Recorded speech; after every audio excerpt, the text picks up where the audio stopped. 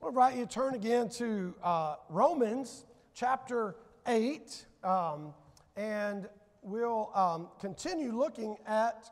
Um, I think I'm going to, almost tempted to stop saying this because almost every time I turn the page on what the next passage is, somebody somewhere, a really well known, respected preacher, teacher, or theologian says this might be the greatest passage in the Bible. Um, more people than not say Romans is the greatest book in the Bible. Um, lots of people um, say Romans chapter 8 is the best chapter in the best book in the Bible. And as we get into the verses we're going to look at today, verses 26, 27, and particularly next week when we get to verse 28, they say, This is it. This is the best of the best of the best. Um, and here's why because it gets to some very practical things that the Bible says to us, and more importantly, what God promises to us. And so, um, I've entitled this um, sermon, Help Added to Hope. So, if you were here the last couple weeks, we talked about the hope that God gives us in Jesus Christ. And so we've looked at being children of God, adopted as sons and daughters of God with an inheritance. And we get assurance and intimacy and all kinds of things with God, so much so that we call him Abba, Father. It's this closeness and this love relationship that God has with his children. And last week, we uh, talked about the fact that the difficulty in the journey can um, uh, be tempting for us to, to take our eyes off the end. Um, knowing that in glory, all the brokenness and fallenness of this world, even our own suffering as we suffer with and for Christ, um, will pale in comparison. In fact, Paul goes far in that. He says it's not even comparable. Like it can't be compared um, to the greatness of the glory. And so there comes a day when Jesus comes again and everything, everything will be set right. No more sickness, sorrow, and dying. No more broken relationships. No more feeling distant from God. No more suffering for the cause of Christ. But here's what makes this passage so great is that it's not just a hope that's in our minds or even in our hearts that sustains us, we actually get help from God as well. Now, practically, I think we all understand what that might mean, right?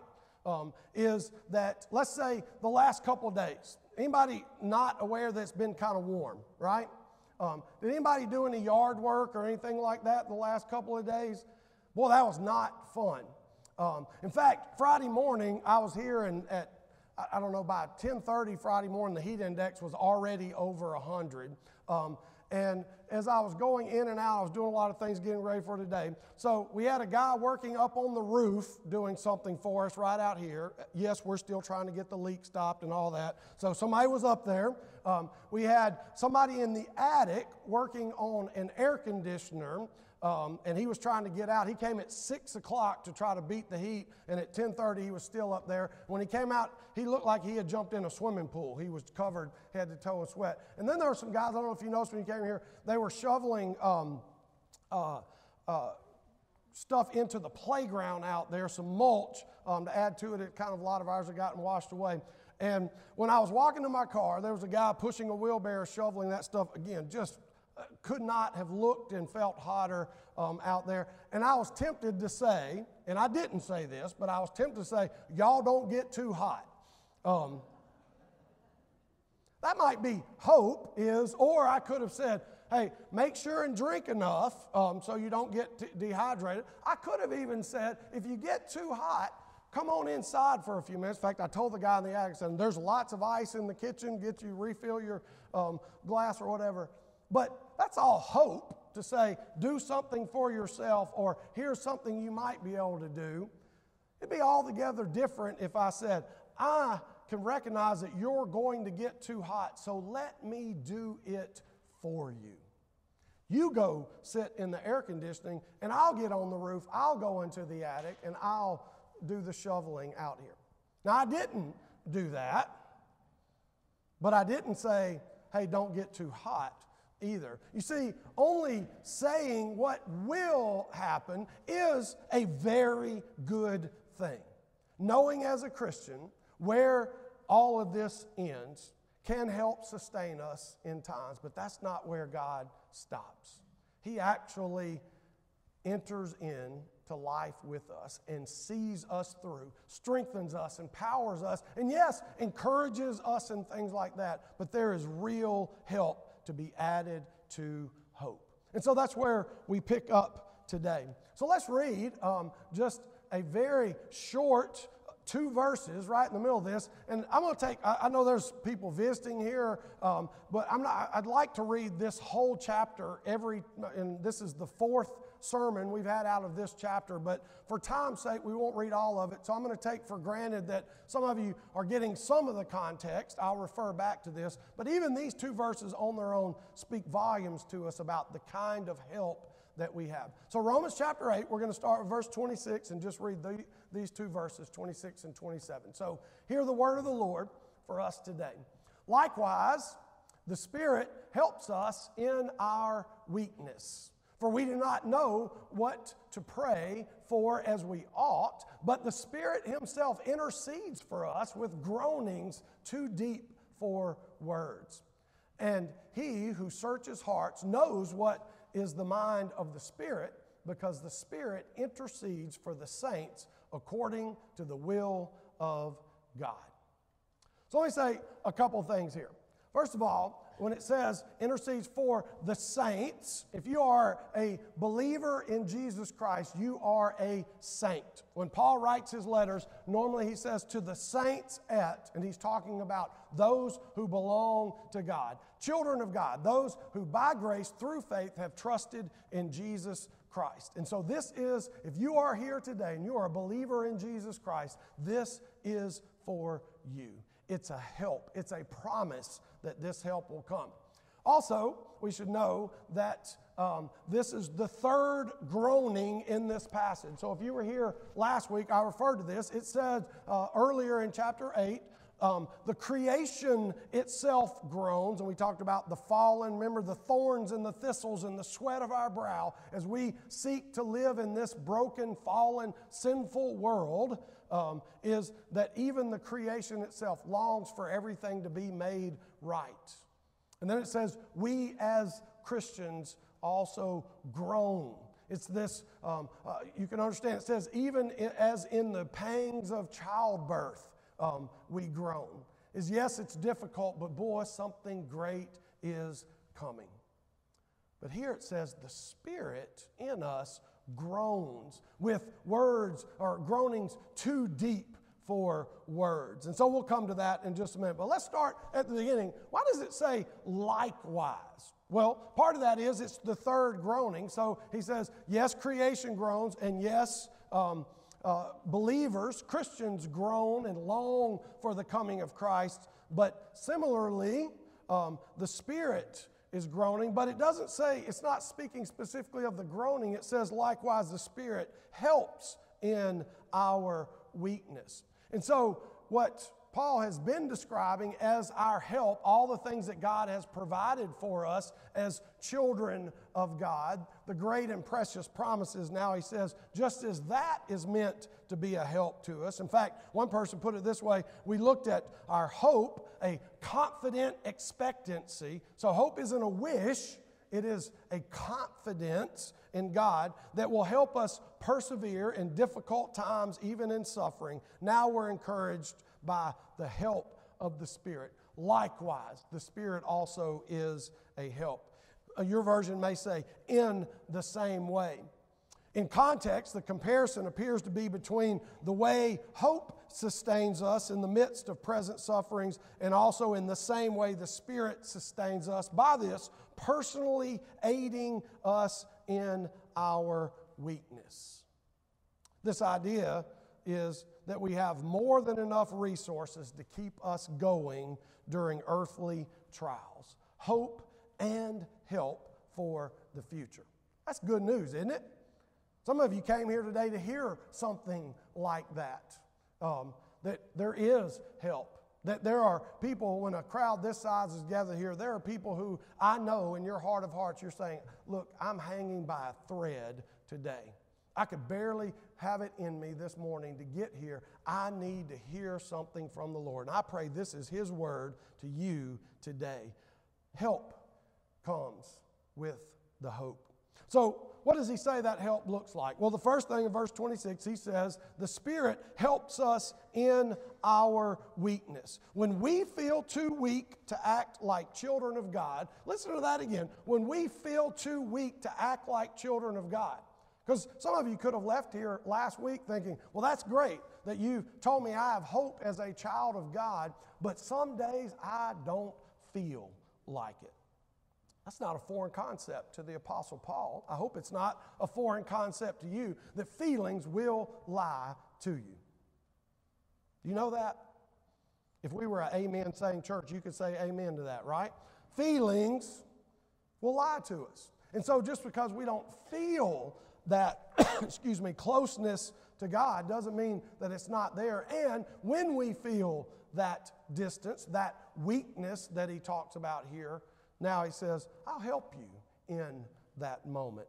And so, when we feel too weak to act like children of God, confidently approaching our Abba Father, the Spirit helps us. When we feel that we have no words to pray, we don't need to feel that we cannot pray. Tim Keller said that, comes from a pretty reliable source. Um, when we don't know what to pray, um, and that's a lot of things in polite company. We don't like to admit that, that we've reached a point in our life like, I don't even know what to say to God. I'm in such a predicament here. I'm in such a low state. I don't even know what to pray or how to pray it. I want you to be encouraged that the Apostle Paul, writing to sons and daughters of God, people who belong, people of true faith, he called them saints. He says, I know sometimes you get to that point. I want you to know there's help for you in that point. The idea is that we have resources in the midst of that. And so, this word, when it says the Spirit helps, um, it's not just an encouraging word. In fact, the word help there in the Greek would be coming to another's aid by taking hold of the load he is carrying. You get the picture of that? If I'm walking down the road with a big heavy load on my shoulder and I'm beginning to strain under it, look, I'll be glad for you to go, hey, don't give up. You can do it. But you know, sometimes we reach a point where I can't do it. What I really need is for someone to take hold of the load with me and sometimes for me. That's what I really need when I'm struggling under the load. Kent Hughes says the Holy Spirit does not give armchair advice. He rolls up his sleeves and helps us bear our weakness. That is real help. Do you think of God in those terms? He's not just some distant grandfatherly person that wishes and hopes the best for us in that sense. Is a God who says, I will help. We heard that in the call to worship today. We heard that in the prayer of confession. We heard that in the children's sermon already today. God is a God who helps. And specifically, the third person of the Trinity, the Holy Spirit, rolls up his sleeves and takes hold. That is real help. And then it acknowledges again that he helps in our weakness. Not that that's the only time. I don't believe God stands back and go, "Hey, let me know when you need my help." that His help comes constantly, always, all the time. But particularly, we can take hope because there is help. This refers this weakness, our human limitations due to our own sinfulness, which produces weakness in us. Why are we weak? Because we don't have all the faith that we should. God doesn't measure you by how much faith you have. It's what are you trusting in? And he's telling us here you can trust in his help. Lean on Him, give it over to Him, and even when we don't know how to ask for God's help. I dare say many of you have been in that spot, crying out in those ways in which all we can get out is, Help me, Jesus. Those are the moments in which we can trust that real help is available to us. And it's help that's actually help you know, sometimes we all have that friend that's willing to come help, but it's not all that much help. kind of thing. This is real help, the professional kind of help, the perfect kind of help. I was thinking this, I was uh, in the car yes, yesterday and had the sports talk radio on, and they were singing the praises of a Major League Baseball player that many of you know named Shohei Ohtani. Um, he's a guy that came from Japan and he's taken Major League Baseball by storm. If you're a fan, I know some of y'all from Colorado might be Rockies fans. I'm sorry. He's probably the best baseball player in the league now. In fact, they were saying yesterday he might be the best baseball player ever. If you don't know him, he's the best hitter in the league. He's also maybe the best pitcher in the league right now. Something hasn't happened since Babe Ruth. He's broken some records that go back before Babe Ruth was even born. 1890 something, he broke some records. Let's just say he's good. And so let's say after church, out in this beautiful weather we have, you got a little pickup baseball game going on in your backyard, and your team is down 10 runs and you said, We need some help. And somebody says, I got the perfect person. I live right next door to Shohei. Let me go over there and see if he's available. And Shohei comes and shows up. What do you want from him? Do you want hitting advice? Do you want him to call pitches? Do you want him to coach the bases? No. You want him to run, throw, hit, catch, all the things because he is good at it. In human terms, he's almost the perfect person to come. We don't want him to just stand on the sidelines and tell him, hey, you can win this thing. We want him to come and give actual help. That's the picture going on here. That is good news. And that's why somebody could look at these verses and go, this may be one of the greatest places in there. But it gets even better. So it, he helps in our weakness. But then look at what verse uh, 26 went on to say, For we do not know what to pray for as we ought, but the Spirit Himself intercedes for us, excuse me, with groanings too deep for words. One writer says there's mystery here. I don't completely pretend to understand all that too. What is exactly that he's saying that the Spirit is doing um, with groanings too deep for words? I think there's this emotional um, letting out of um, emotions in some kind of physical kind of way that he's describing a spiritual truth there, and there's mystery in it. But um, this writer says we're peering into the unseen spiritual realm where the Spirit is at work on our behalf. And although we cannot understand it all, we can take infinite encouragement from the fact that a groan may sometimes be the most spiritual prayer. Some of you groaned that kind of prayer in the midst of things. But when he says the Spirit intercedes, that is, that the Spirit is bringing a petition before the king on behalf of someone else. He is doing something for us. He's not just showing us the way to the throne of grace, He is going before the throne of grace for us. He is asking for something, and that groaning for with two deep words gives some urgency and some intensity to it. He's not offering a cursory prayer.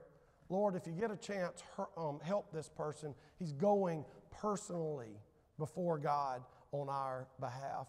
And that word groanings is the kind of thing that language can't even express it. Paul's trying to say, here's something I can't describe. Maybe even the Spirit Himself can't describe this, but they are communication between the Spirit and the Father. Groanings. What a word, one person says, and to be used of the Spirit of the Almighty Himself. How shallow is our appreciation of what is done, both by Christ for us and by the Spirit within us. You see, Romans has been kind of bringing up out of the depths to know who Jesus is, what he's done, and our eyes are to be lifted to heaven and go, What an amazing Savior we have. Paul says, Let me tell you about something else that's great. Let me tell you about this Spirit that lives in you. Chapter 8 has already said if you belong to Christ, the Spirit lives in you. This isn't for some extra class of Christian that we all hope to get to that level. This is true of every Christian. And he says one of the things he does is when we don't know what we ought to pray for, the Spirit does, searches our hearts. Is there anything, one person says, that more clearly captures the experience of weakness and a feeling of helplessness than not to know what we ought to pray? And again, some of you very acutely know that situation. I'm so desperate. I'm hurting so badly here. I don't even know what to ask God for. I don't even see what the future could be from where I am now.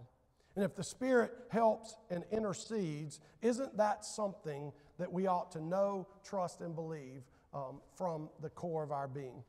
Share something with you. Um, I always am scared to do this last minute, but this morning um, I was reading a devotional very early um, this morning.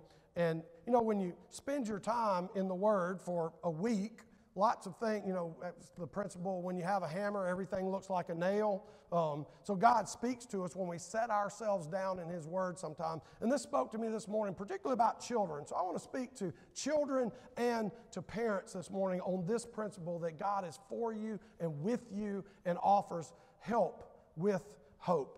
And so um, this comes from a writer named William Osborne. It's just a little devotional. I get emailed every day, several different devotions. Some days I read them, some days not. But this morning, um, before I did anything else um, here at the office this morning, I read this. And I, I want you to hear this. So this is entitled God the Protector, at least this part of this article. As much as we might hope, we never grow out of fear. Wow, that's a big statement. As much as we might want to, we never grow out of fear of not knowing the future, not knowing how we'll get through the future. Here's what he says Like a parasite clinging to the growing limbs of our faith, it seems to follow us through the various stages of life. But age provides perspective and courage that is hard to come by in our youth. Indeed, the wonder and excitement of childhood also comes with surges of fear stemming from uncertainties and newness of life. Whether it's the darkness of the bedroom, shout out to Michelle for the children's sermon today, or walking into a new classroom, fear is fundamental to being a kid. So, if it's fundamental to it, and it's almost unavoidable, not only as a child, but also as an adult, what does God say to us? Well, in these moments, God's word bolsters us. That means lifts us up, encourages us with us. Things like this Psalm 27 The Lord is my light and my salvation. Whom shall I fear? The Lord is the stronghold of my life. Of whom shall I be afraid? God is our light in the darkness. He is our mountain of refuge to which we can run. Obviously, to us and our kids, God is not literally the light. And he goes on to say, look, those are analogies that maybe at certain ages we don't fully understand. But here's what I want to say to you this morning there is a promise in the scripture from womb to tomb um, about this earth is that God is not only for us, He not only offers hope in the end, He offers real help today. And so I also know in the world we live in today, you don't have to be an adult before you realize this is a broken, messed up, fallen world. And wherever you are today, there is real hope, but there's real help. And whatever, uh, we, sometimes I think we mistakenly dismiss the fears and the uncertainty of the future for kids. Oh, you'll see when you grow up. Those can be real hardships and fears. Maybe we do it with people who are reaching closer to the end of their life. Well, you've lived long enough, you know all these truths. We all need to hear God is a God of help. And even when we don't know what God wants, we don't even know how to ask for it, He helps. Let me close with this. Verse 27 um, says, He who searches hearts knows what's in the mind of the Spirit because the Spirit intercedes for the saints according to the will of God. How many of you know it's hard to know what to pray sometimes because I don't really know what God wants in this situation? And it feels kind of trite and not an earnest enough prayer to say, God, just do what you want because part of me says, I know what I want, and I really want that to be what God wants. Um, John Piper, again, I, I, use his name a lot, but he, he puts it this way, as he often does, in a way that just really touched my heart. So, what is it that we don't know what to pray for in this weakness? So, he asked the question we've read these verses, we've heard some of these things. What is he really saying? He says, I think the answer is we don't know the secret will of God about our sickness or our hardships. We don't know whether we should pray for healing or for strength to endure. Did you get that? We don't know sometimes. We think the automatic is, I need to pray that this will just be gone. But sometimes God says, I want you to endure in this. I may not take it away. Of course, both are right. It's not wrong to pray for either one of those. But we long to pray with great faith. And we groan that we are not sure what God's way will be with this sickness or this loss or this imprisonment. We just don't know. And he points us to 2 Corinthians chapter 12, where Paul asks three times for his thorn in the flesh, something that he was suffering with, to be taken away, to be removed. And finally, Jesus revealed to him that it will not be taken away. Surely that hardship and that imprisonment, what God's will was, whether it was healing or not, or deliverance or not, he wasn't sure. And he prayed for it to be taken away. That's our natural fallback. But sometimes God says, I'm doing something here in you. And God reminds him of the hope he has My grace is sufficient for you. And so when Paul was in prison in Rome, at least for a time, um, he might have been unsure what to pray there his life and his ministry or courage for death. So Paul's in prison saying, I don't know what's going to happen here. I may die in prison, I may be executed by the Roman government, but I'd really like to go on ministering. And in Philippians um, chapter 1, I think I put this up here for you. Look at what he says. If I am to live on in the flesh, this will mean fruitful labor for me. I don't know which to choose. The Apostle Paul says, I don't know which of these God wants most for me, but I'm hard pressed from both directions, having the desire to depart and be with Christ, for that's very much better. Yet to remain in the flesh is more necessary for your sake. So even the Apostle Paul is saying, I don't know what to pray here, but here to the Romans, he's saying, in those moments, and I've had those moments, the Holy Spirit's interceding for me. So when I can't put the words to it, when I can't put the right words to it, the Holy Spirit does it for me. And so now it's painfully relevant to us that God has promised this and will do this in us and for us. Already, I dare say, um, I don't think it's overstating, probably every person in here is thinking of situations either currently in the past or something that may be coming where you go, yeah, been there, done that, got the t shirt. I know what he's talking about here. So, can we receive that help? Can we receive the hope of God's word, the hope for the future that God is doing this, but God's promise that I will be there with you? In fact, um, please come back next week. Um, we haven't even got to the really good part of this chapter yet. We get a guarantee to go along with this. A guarantee right from God's mouth that He's doing something good in you and He will see it through until the end, and nothing will separate you from His love. And here He says, How do I know that? Because I'm helping along the way. Kent Hughes, another author, says this There have been times when something has been said to us that is so devastating and we are so hurt we cannot pray but the Spirit Himself intercedes for us with groanings too deep for words. One day, some of us will lie in hospitals with catheters and IVs, and we will not have the will to pray or even put two thoughts together. But the Spirit Himself intercedes with us with groanings too deep for words. The Holy Spirit expresses those things we feel, but we cannot articulate.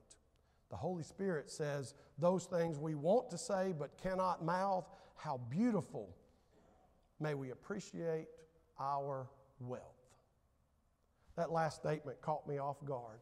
Can we appreciate being a son or a daughter of God that He says, Look, I'll lift your eyes. Remember last week that word crane our neck um, to see the glory of the coming Christ, but until then, I will actually help.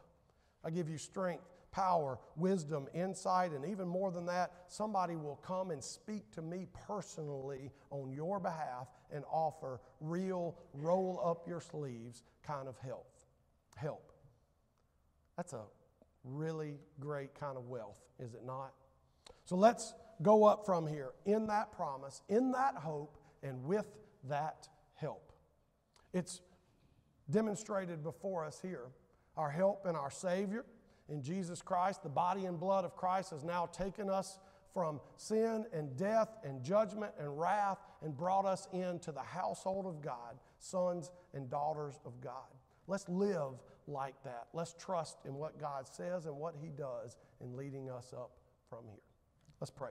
Our Heavenly Father, it is with great joy that we've heard your great and precious promises. I pray that every one of us, from the youngest to the oldest here today, would experience a measure uh, of your help. That whatever may be going on in our lives today, that we would know that the Holy Spirit is lifting us up, is speaking to you on our behalf, and that real help has been given. I pray that we would feel that, that we would live in light of that, and we could share that good news. If there are those here today that have never known uh, the saving grace of Jesus Christ, have never known the hope of Jesus Christ and the power of the Holy Spirit working in them, that you would do a work today that call them um, into the family, adopting them as sons and daughters, that the free gift of salvation could be received this day. Bless us as we go to your table. Uh, let that be pictured uh, in what we do and say here, and let us feel a closeness to Christ in it. We ask these things in Jesus' name. Amen.